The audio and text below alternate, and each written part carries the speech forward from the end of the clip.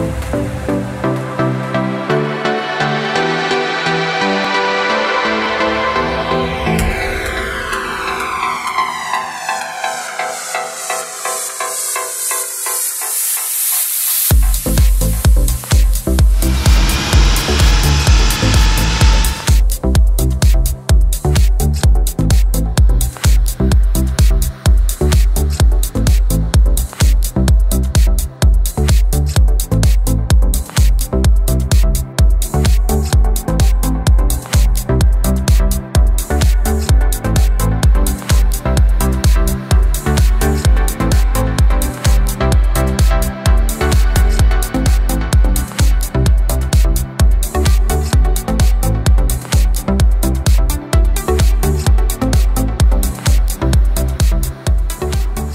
Это событие знаменательно для нашего города. Сегодня, здесь и сейчас стартует автопробег, который дойдет до Симферополя. А сам праздник пройдет в городе Севастополь. Мы очень рады, что сейчас старт будет впервые проходить именно из города Набережные Челны. Я хочу поблагодарить тех, кто готовил эту автоколонну. Мы знаем, что эта работа важная, нужная, и мы знаем, что техника подготовлена качественно. Хочу обратиться к команде, которая поедет и преодолеет 5800 километров и увидит 9 городов. Хочу пожелать, чтобы дорога была гладкой, была спокойной, была комфортной. В добрый путь!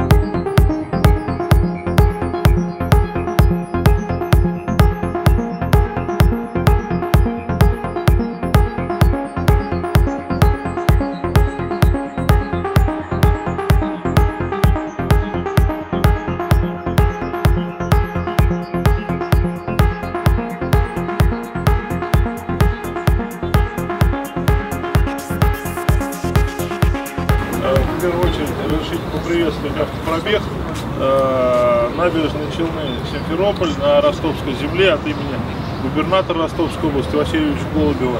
Я думаю, что у нас сейчас будет дискуссионная площадка пообщаться.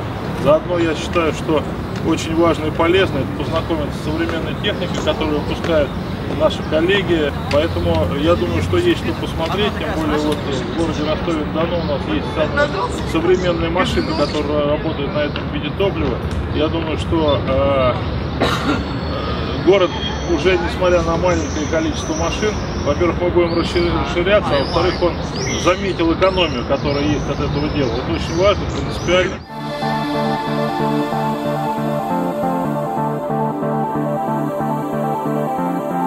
В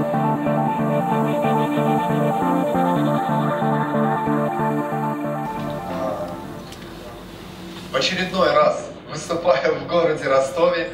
И э, мы, когда э, стартовали в городе Набережные Челны, с города Набережных Челнов, э, на той неделе в субботу, ну, я все время думал, и что в городе Ростове будет все замечательно, все прекрасно. Действительно, э, то место, которое сегодня мы показали, всю технику, очень много было людей, значит, очень много заинтересованных в этой теме.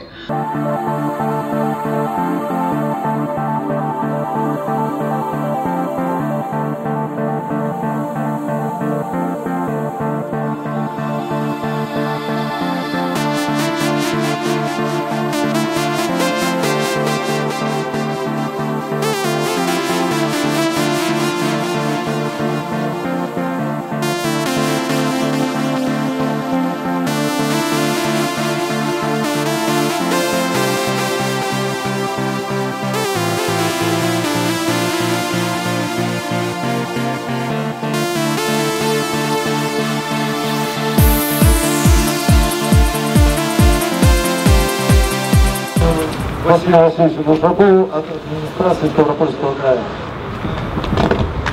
Дорогие участники автопробега и гости, мы рады приветствовать э, вас на нашей Ставропольской земле. Последний раз мы встречались в 2010 году. Э, на сегодня мы видим, качество э, техники улучшается, расширяется спектр представляемой техники. И проходит автобус Марко Поло, который наверняка будет востребован на наших ставропольских дорогах и городах.